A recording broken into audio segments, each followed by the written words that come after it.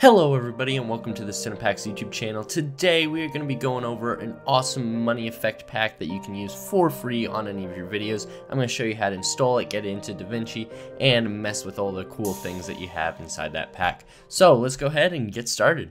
Now to get these free transitions, head over to cinepacks.com and head over to the free pack section and add the money transition pack to your cart. From there, all you gotta do is put in your email. You can put anything else for the billing address. That doesn't matter. This is a free pack and you will get emailed your download link and we are all set.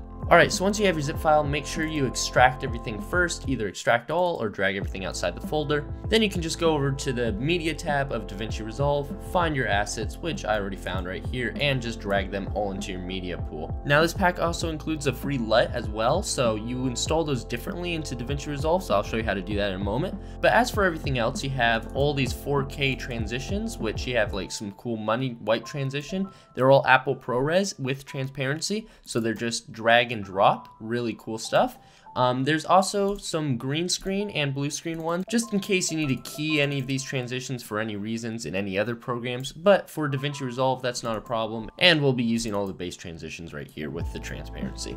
Alright, so on to the timeline, where we drag things around. Now a few things that we got is this cool animated frame here. So if we play this through, as you can see, let's click on this to loop it.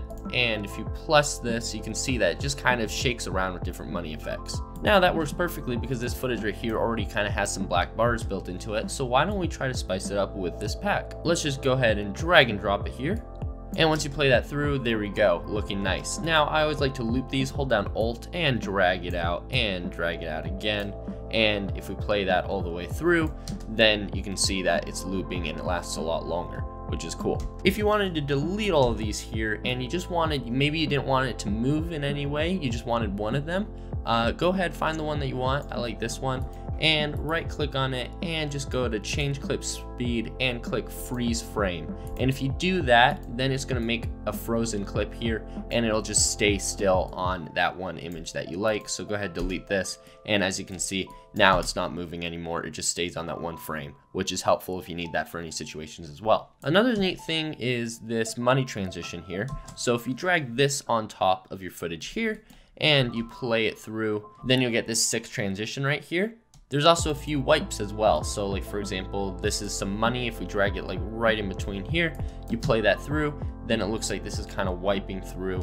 Um, but more specifically, I kind of think it looks better over here because if we play it through here, then you have the money kind of coming in at the same time as you see, and then it kind of slides in.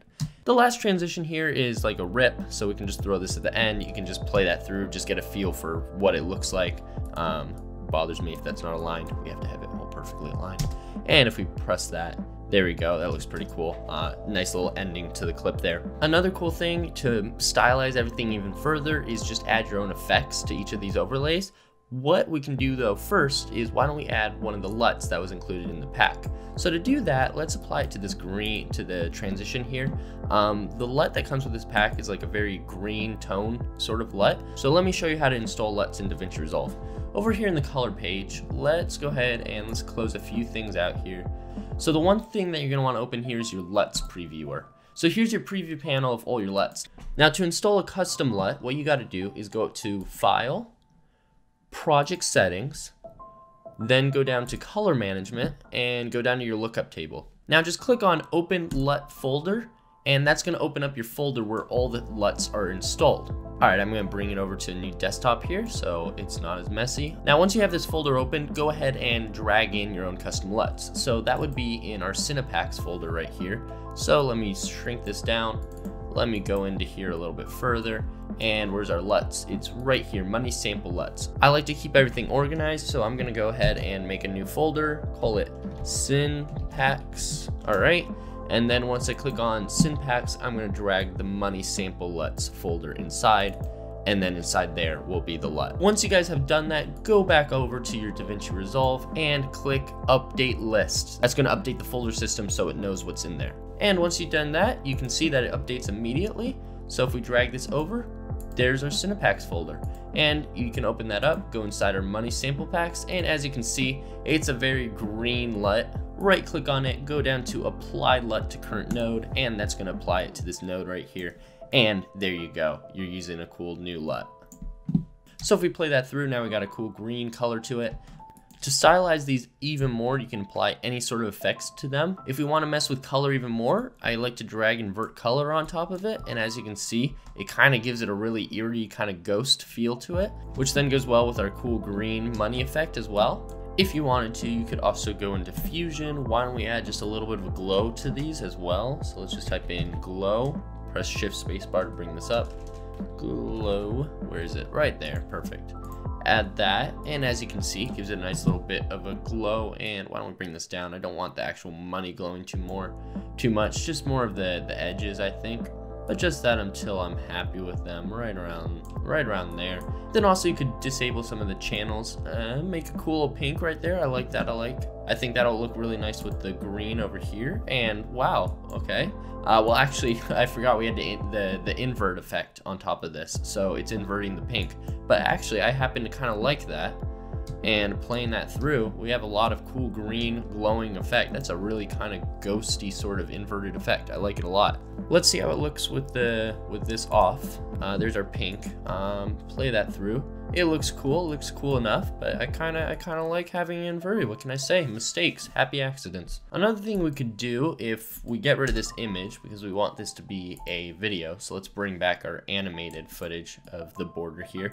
Uh, we could bring this into Fusion as well and add some analog damage as well, which also looks pretty cool. Shift spacebar, whoops, shift spacebar, uh, analog damage, there it is.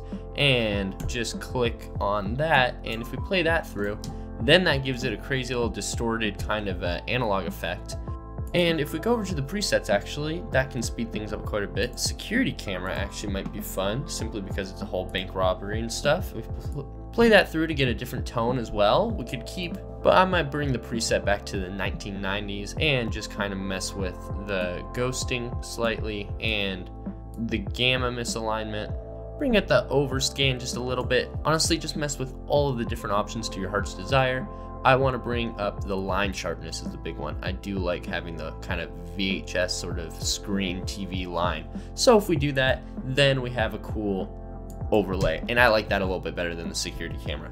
And as usual, we can hold down Alt and just duplicate this out. That way it fits the whole thing. And there you go, guys. If we play this through, you got a cool stylized money effect and we got some cool effects glowing in, transitioning, and spicing up your footage. Alrighty guys, hope you guys liked the tutorial. Please let us know if you have any questions. If you guys did like messing around with all these free assets, which you can use in any projects by the way, we have plenty of questions always asking if you can use them anywhere. Yes, you can. If you do want to get the full pack from cinepacks.com though, I have a sample code. Type in sample15 during checkout, sample15 to get 15% off your order. And as usual guys, have a great day and happy editing.